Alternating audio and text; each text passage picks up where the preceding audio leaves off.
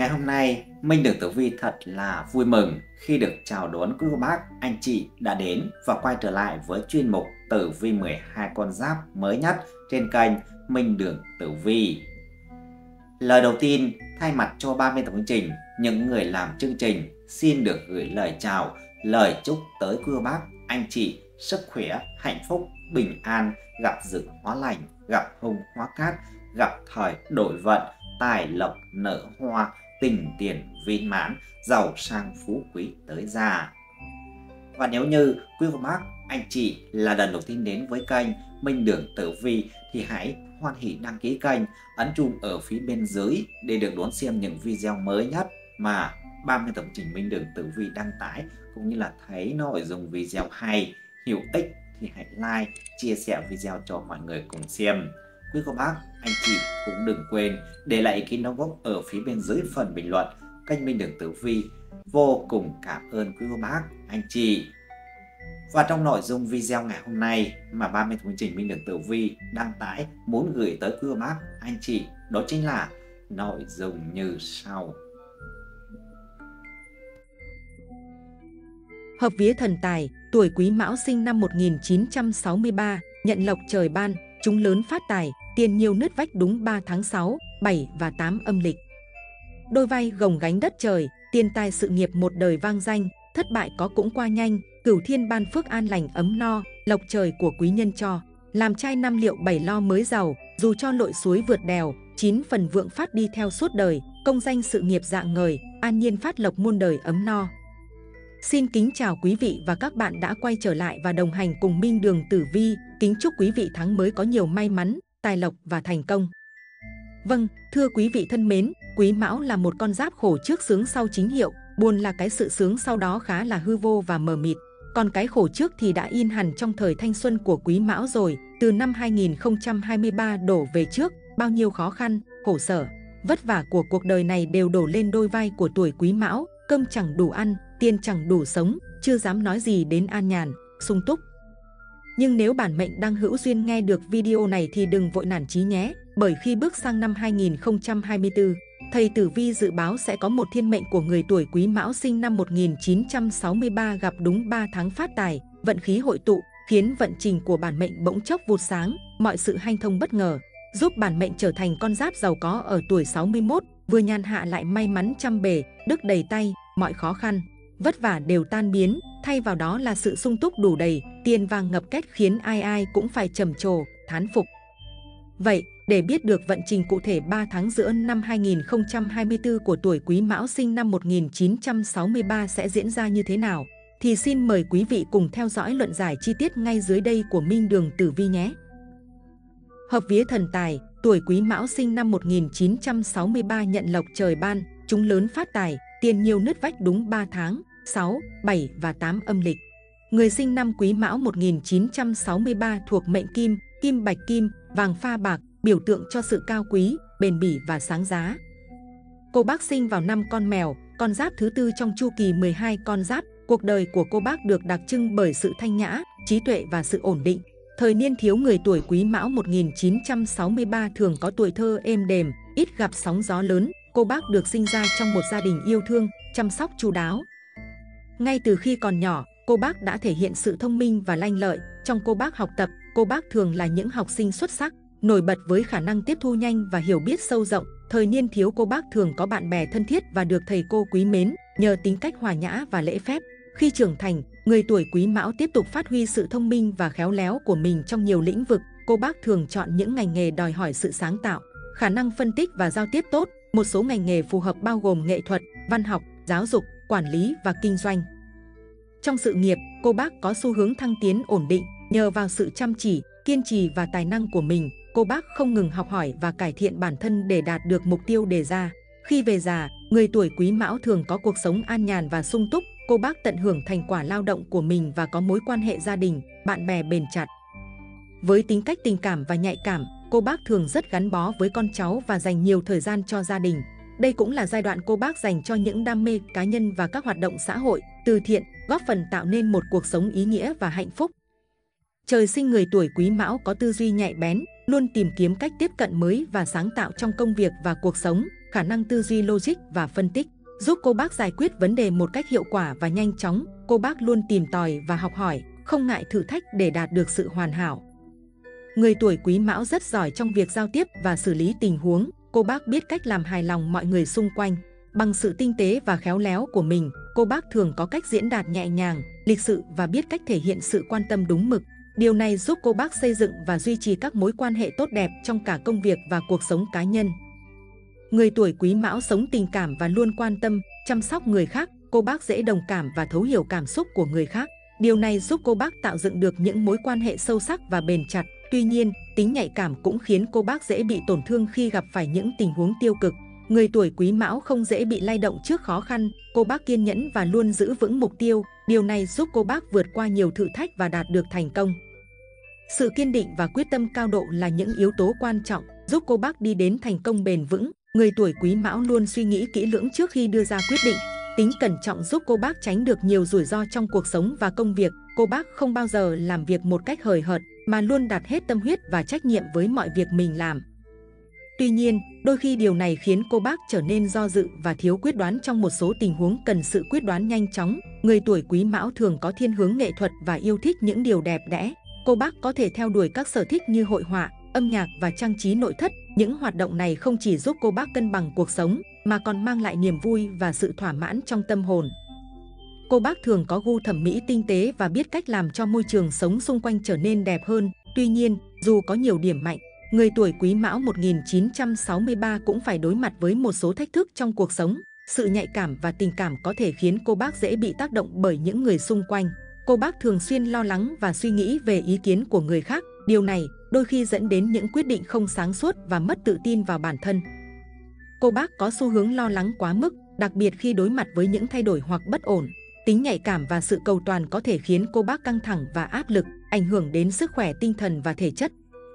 Việc duy trì sự cân bằng giữa công việc và cuộc sống cá nhân là một một thách thức lớn đối với cô bác. Tính cẩn trọng đôi khi trở thành do dự, khiến cô bác bỏ lỡ những cơ hội quan trọng. Cô bác cần học cách tự tin hơn vào bản thân và quyết đoán hơn trong những tình huống đòi hỏi sự nhanh chóng và chính xác. Nhìn chung, người tuổi Quý Mão 1963 với trí tuệ, sự khéo léo và tình cảm của mình thường có cuộc sống bình yên và thành công. Cô bác cần học cách kiểm soát cảm xúc, quyết đoán hơn trong các quyết định và duy trì sự cân bằng giữa công việc và cuộc sống để đạt được hạnh phúc trọn vẹn. Việc nhận thức và khắc phục những thách thức cá nhân sẽ giúp cô bác tiến xa hơn trên con đường sự nghiệp và cuộc sống, tạo dựng một tương lai ổn định và hạnh phúc. Tiếp theo sau đây, hãy cùng tìm hiểu tổng quan tử vi tuổi Quý Mão trong 3 tháng 6, 7 và 8 âm lịch. Theo luận giải tử vi mới nhất của 12 con giáp có chỉ ra rằng 3 tháng 6, 7 và 8 âm lịch năm 2024 hứa hẹn mang lại nhiều cơ hội và vận may cho người tuổi Quý Mão 1963. Trong giai đoạn này, các phương diện sự nghiệp, tài lộc, tình duyên và sức khỏe đều có sự biến chuyển tích cực. Đầu tiên, về phương diện sự nghiệp. Phương diện sự nghiệp của người tuổi Quý Mão trong 3 tháng 6, 7 và 8 âm lịch có nhiều cơ hội phát triển mạnh mẽ, đây là thời điểm mà sự chăm chỉ và nỗ lực trong công việc của cô bác sẽ được đền đáp bằng những thành quả xứng đáng. Tháng 6 âm lịch, tháng này mang đến nhiều cơ hội mới cho người tuổi quý mão trong công việc. Cô bác có thể được giao những nhiệm vụ quan trọng, đồng thời nhận được sự hỗ trợ và đánh giá cao từ cấp trên. Đây là thời gian để cô bác thể hiện năng lực và chứng minh khả năng lãnh đạo, những ý tưởng sáng tạo và giải pháp đột phá sẽ giúp cô bác đạt được thành công và mở rộng phạm vi ảnh hưởng. Tháng 7 âm lịch tiếp tục là một giai đoạn thuận lợi cho sự nghiệp của người tuổi Quý Mão. Các mối quan hệ đối tác và đồng nghiệp được củng cố, mở ra nhiều cơ hội hợp tác và phát triển. Cô bác có thể được tham gia vào các dự án quan trọng hoặc có cơ hội thăng tiến trong công việc. Tinh thần làm việc nhóm và khả năng giao tiếp tốt sẽ là yếu tố then chốt giúp cô bác tiến xa hơn.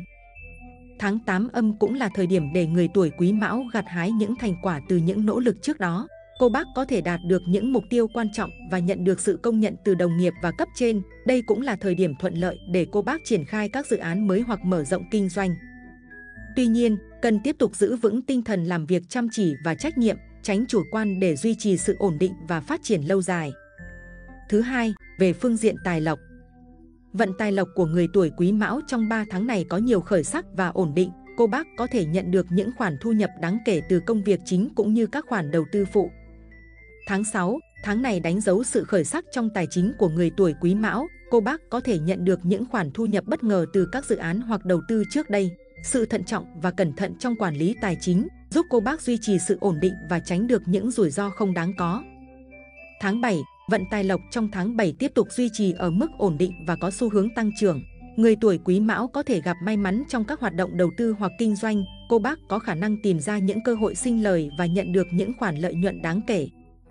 Tuy nhiên, cô bác cần phải cẩn trọng và nghiên cứu kỹ lưỡng trước khi đưa ra bất kỳ quyết định đầu tư nào để tránh rủi ro. Tháng 8, tài chính trong tháng 8 rất ổn định và có khả năng tăng trưởng mạnh mẽ. Người tuổi Quý Mão có thể nhận được những khoản thu nhập lớn từ các dự án hoặc kinh doanh đã đầu tư trước đó. Đây là thời điểm tốt để cô bác cân nhắc việc đầu tư vào các lĩnh vực mới hoặc mở rộng hoạt động kinh doanh. Tuy nhiên, cần duy trì kế hoạch tài chính và đầu tư hợp lý để đảm bảo sự ổn định lâu dài. Tiếp theo, về phương diện tình cảm. Tình cảm gia đình trong 3 tháng này phát triển tốt đẹp, mang lại nhiều niềm vui và hạnh phúc cho người tuổi Quý Mão. Cô bác có nhiều cơ hội để gắn kết và củng cố mối quan hệ gia đình. Tháng 6, tình cảm gia đình trong tháng này rất hài hòa và ấm áp. Người tuổi Quý Mão dành nhiều thời gian hơn cho gia đình, tạo nên những kỷ niệm đẹp và tăng cường sự gắn kết giữa các thành viên. Những buổi họp mặt, ăn uống hay du lịch cùng nhau giúp cô bác thêm hiểu và yêu thương nhau hơn. Tháng 7, tháng này tình cảm gia đình của người tuổi Quý Mão tiếp tục phát triển tốt đẹp. Cô bác có thể tổ chức những sự kiện gia đình quan trọng hoặc tham gia vào các chuyến du lịch thú vị, giúp tăng cường sự gắn kết và yêu thương giữa các thành viên. Những buổi trò chuyện và chia sẻ giúp cô bác hiểu và thông cảm với nhau hơn, tạo nên một môi trường gia đình ấm áp và hạnh phúc. Tháng 8, tháng 8 có thể xảy ra một số xung đột nhỏ trong gia đình do sự khác biệt trong quan điểm hoặc áp lực công việc. Tuy nhiên, chỉ cần giữ thái độ hòa nhã và lắng nghe, mọi chuyện sẽ được giải quyết êm đẹp. Đây cũng là thời điểm người tuổi quý mão nên dành nhiều thời gian hơn cho gia đình, tạo ra những khoảnh khắc đáng nhớ và củng cố tình cảm gia đình. Cuối cùng, về phương diện sức khỏe. Sức khỏe của người tuổi quý mão trong 3 tháng này khá ổn định. Tuy nhiên, cô bác cần chú ý đến việc duy trì lối sống lành mạnh và tránh các yếu tố gây căng thẳng. Tháng 6, sức khỏe tổng thể của người tuổi quý mão trong tháng này khá tốt. Cô bác cần chú ý đến chế độ ăn uống và nghỉ ngơi hợp lý. Để tránh các vấn đề liên quan đến tiêu hóa và căng thẳng, việc duy trì một lối sống lành mạnh, bao gồm việc tập thể dục đều đặn sẽ giúp cô bác giữ được thể lực tốt và tinh thần thoải mái. Tháng 7, sức khỏe của người tuổi quý mão trong tháng này vẫn ổn định. Cô bác cần chú ý đến sức khỏe tinh thần, tránh để stress ảnh hưởng đến cuộc sống hàng ngày. Duy trì một chế độ sinh hoạt hợp lý, bao gồm việc ăn uống lành mạnh và tập thể dục đều đặn, sẽ giúp cô bác giữ được sức khỏe tốt và tinh thần lạc quan. Tháng 8, Sức khỏe của người tuổi quý mão trong tháng 8 có thể bị ảnh hưởng do khối lượng công việc tăng cao, cô bác cần dành thời gian để nghỉ ngơi và thư giãn, đồng thời duy trì chế độ ăn uống lành mạnh và tập thể dục đều đặn. Việc giữ cho tâm hồn thanh thản và tinh thần lạc quan là điều cần thiết để cô bác duy trì sức khỏe tốt trong giai đoạn này. Nhìn chung, trong 3 tháng 6, 7 và 8 âm lịch năm 2024 là thời gian đầy triển vọng và may mắn cho người tuổi Quý Mão 1963 cô bác sẽ có nhiều cơ hội để phát triển sự nghiệp, tăng trưởng tài chính và củng cố tình cảm gia đình. Tuy nhiên, cần duy trì sự cân bằng giữa công việc và cuộc sống cá nhân, quản lý tài chính cẩn trọng và chăm sóc sức khỏe để đạt được thành công và hạnh phúc trọn vẹn. Việc nhận thức và khắc phục những thách thức cá nhân sẽ giúp cô bác tiến xa hơn trên con đường sự nghiệp và cuộc sống, tạo dựng một tương lai ổn định và hạnh phúc. Vâng, thưa quý cô bác, Tiếp theo sau đây chúng ta sẽ cùng đi vào phần tử vi chi tiết từng tháng dành cho cô bác tuổi Quý Mão 1963. Mời cô bác cùng theo dõi và nắm bắt vận trình của mình nhé.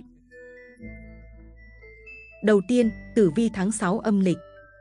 Tháng 6 âm lịch được sự hậu thuẫn của quý nhân và chiếu rọi của các tinh, nên vận trình của cô bác tuổi Quý Mão diễn ra suôn sẻ, gặp nhiều may mắn và thành công trong cuộc sống. Tháng 6 âm lịch mở ra nhiều cơ hội mới trong sự nghiệp cho người tuổi Quý Mão, con giáp này có thể được thăng chức hoặc nhận được những dự án quan trọng, khả năng làm việc độc lập và tinh thần cầu tiến, giúp bản mệnh vượt qua những thử thách ban đầu và đạt được những thành tựu đáng kể. Đặc biệt, những ai đang làm việc trong lĩnh vực sáng tạo, nghệ thuật hoặc kinh doanh sẽ thấy mình được truyền cảm hứng và có thêm động lực để phát triển các ý tưởng mới. Vận tài lộc của người tuổi Quý Mão trong tháng này khá khởi sắc, bạn có thể nhận được những khoản thu nhập bất ngờ từ các khoản đầu tư trước đây hoặc từ những dự án kinh doanh phụ. Sự thận trọng trong quản lý tài chính giúp họ duy trì sự ổn định và tránh được những rủi ro không đáng có. Tuy nhiên, cần lưu ý không nên chi tiêu quá mức và nên tích lũy cho những kế hoạch dài hạn. Tình cảm gia đình trong tháng 6 âm lịch rất hài hòa và ấm áp, người tuổi Quý Mão dành nhiều thời gian hơn cho gia đình, tạo nên những kỷ niệm đẹp và tăng cường sự gắn kết giữa các thành viên, những buổi họp mặt, ăn uống hay du lịch cùng nhau, giúp họ thêm hiểu và yêu thương nhau hơn. Phương diện sức khỏe tổng thể của người tuổi Quý Mão trong tháng này khá tốt, cô bác cần chú ý đến chế độ ăn uống và nghỉ ngơi hợp lý để tránh các vấn đề liên quan đến tiêu hóa và căng thẳng. Việc duy trì một lối sống lành mạnh, bao gồm việc tập thể dục đều đặn sẽ giúp họ giữ được thể lực tốt và tinh thần thoải mái. Thứ hai là tử vi tháng 7 âm lịch. Tiếp nối những vận may từ tháng trước, bước sang tháng 7 âm này, cô bác tuổi Quý Mão vẫn tiếp tục đón nhận nhiều tin vui. Trên nhiều phương diện cuộc sống, dưới sự phù trợ của nhiều cát tinh, vận trình của bản mệnh vụt sáng bất ngờ, gặt hái được nhiều thành quả ngoài mong đợi. Về phương diện sự nghiệp, tháng 7 âm lịch tiếp tục mang đến nhiều cơ hội thuận lợi trong công việc, các mối quan hệ xã hội và đối tác làm ăn của người tuổi Quý Mão được mở rộng, giúp bản mệnh thu hút được nhiều sự hợp tác và hỗ trợ. Những kế hoạch và dự án đã ấp ủ từ lâu có thể được triển khai thành công trong giai đoạn này. Đây cũng là thời điểm cô bác cần củng cố vị thế và xây dựng những nền tảng vững chắc cho tương lai. Vận tài lộc trong tháng 7 âm lịch vẫn tiếp tục thuận lợi, người tuổi Quý Mão có thể gặp may mắn trong các hoạt động đầu tư hoặc kinh doanh. Cô bác có khả năng tìm ra những cơ hội đầu tư sinh lời và nhận được những khoản lợi nhuận đáng kể. Tuy nhiên, cần phải cẩn trọng và nghiên cứu kỹ lưỡng trước khi đưa ra bất kỳ quyết định đầu tư nào để tránh rủi ro.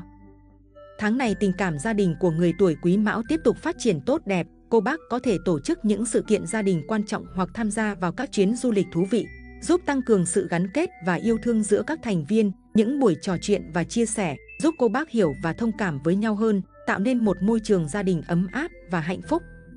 Sức khỏe của người tuổi Quý Mão trong tháng 7 âm lịch vẫn ổn định, bản mệnh cần chú ý đến sức khỏe tinh thần, tránh để stress ảnh hưởng đến cuộc sống hàng ngày.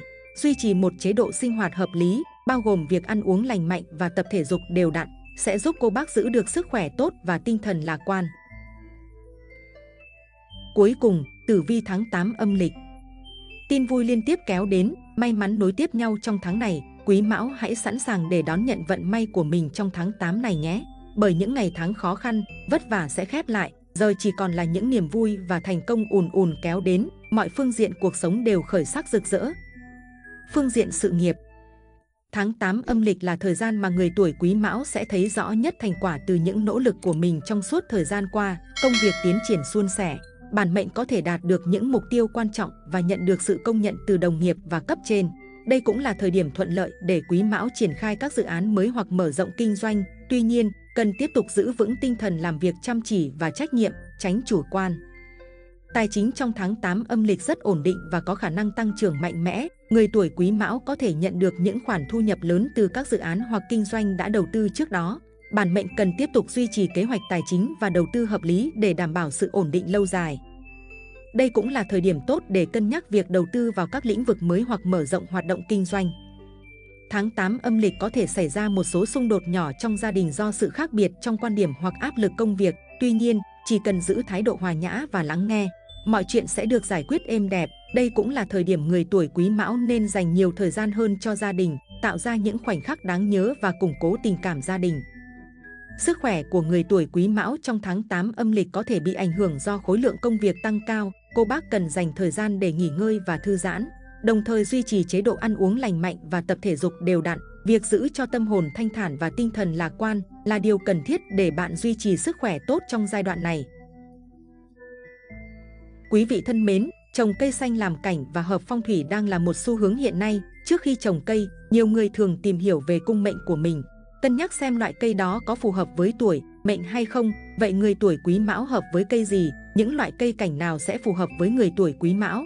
Hãy cùng Minh Đường Tử Vi điểm qua các loại cây phong thủy tuổi quý mão để chọn cho mình một loại cây cảnh phù hợp quý vị nhé. Theo phong thủy, người tuổi quý mão mệnh kim sẽ phù hợp với màu vàng hoặc màu trắng tinh khiết, vì thổ sinh kim nên màu trắng sẽ là màu của người bản mệnh kim. Do vậy, người tuổi quý mão mệnh kim nên ưu tiên chọn những loại cây cảnh có màu vàng hoặc trắng để tăng thêm may mắn, xua đuổi vận hạn. Một số loại cây phong thủy tuổi mão mệnh kim phù hợp để trồng gồm có Cây thuộc hành kim, bạch mã hoàng tử, lan chỉ, lan tuyết, bạch lan, ngọc ngân, ngân hậu, cây đuôi công bách thủy tiên, lan ý, kim cửu ly hương. Cây thuộc hành thổ, lưỡi hổ viền vàng, thiết mộc lan, thiết mộc lan ghép, sọc vàng, châu bà đế vương vàng, vạn niên thanh bò đốm vàng, đại niên thanh, cao vàng, lan hồ điệp, hoa vàng. Trên đây là những loại cây phong thủy tuổi mão phù hợp với người tuổi quý mão mệnh kim, hy vọng qua những chia sẻ từ Minh Đường Tử Vi, cô bác sẽ tìm được cho mình một loại cây trồng phong thủy phù hợp nhất, giúp mọi việc thuận lợi, vạn sự như ý, không còn gặp phải những điều khó khăn, chắc trở trong cuộc sống nữa. Vâng thưa quý vị, trong đạo đức kinh của Lão Tử có câu biết đủ không nhục, biết dừng không thua, có thể dài lâu. Thế nhưng thế giới này lại quá vội vã, hối thúc ta sống tham lam, muốn có nhiều hơn nữa, quên cả việc soi xét lại hành vi của chính mình. Nhưng nên hiểu rằng, khả năng biết dừng là thể hiện sự trí tuệ, vì đó không không phải là đứng yên một chỗ không muốn vươn lên, mà là phải biết biết nhìn xa, biết lúc nào nên tấn công, lúc nào nên phòng thủ, khi đó ta mới thấy đường cùng thì biết dừng lại và tìm hướng đi mới. Vì được khuyên sống hết mình, theo đuổi đam mê đến cùng mà ta hiểu nhầm, đã quên mất rằng có những lúc cần biết dừng lại. Đúng là ý chí tiến thủ là bản lĩnh mà một người phải có để đạt được thành công, thế nhưng biết nói không đúng lúc cũng là cách để đảm bảo, là bảo hiểm cho thành công. Chúng ta không biết lúc nào là nên dừng đúng lúc vì ít có lời chỉ dẫn cụ thể, thay vào đó, ta thường được khuyên là hãy giành lấy nó. Nên nhiều người đã phải trả giá cho việc này vì thực tế trong cuộc sống sinh hoạt, người hiểu được biết dừng lại không có nhiều, có một số người còn tranh giành với người khác. Ví dụ như họ muốn giành được giải thưởng bằng cách bất chính, giành người yêu, giành vợ chồng của người khác. Họ tưởng rằng bản thân đang làm một việc rất đúng đắn là cứ cố giành lấy cái mình muốn, vì không biết buông tha, không hiểu được mọi việc đều nên có chừng, có mực, họ đã tự hủy hoại cuộc sống mình. Chỉ đến khi dừng lại họ mới biết bản thân đã phí hoài thời gian, công sức, tuổi trẻ cho những gì gọi là hư vô. Hay như trong việc đầu tư kinh doanh, kẻ khôn ngoan nhất là kẻ biết vào và ra đúng lúc, chứ không phải người cố sống, cố chết với quyết định của mình. Cách sống giàu tính sáng tạo của đời người không phải là chạy cật lực không ngừng nghỉ, mà trên con đường ấy có đi có nghỉ. Sẽ có người nói giá như họ biết dừng để dành thời gian nghỉ ngơi, không để bệnh tật cướp đi mạng sống. Sẽ có người nói giá như họ biết dừng để được ở bên gia đình, không bị kẻ khác cướp đi hạnh phúc. Sẽ có người nói giá như họ biết dừng để không đuổi theo danh lợi, sa ngã rồi lại ngồi tù, bỏ lại cuộc sống hối hả ngoài kia, biết dừng lại là một loại trí tuệ, một người có thể thành công, an toàn và hạnh phúc chỉ khi biết dừng lại khi làm mọi thứ. Vâng, quý vị thân mến, chương trình đến đây là hết. Chúc quý vị có một cuộc sống bình an, hạnh phúc.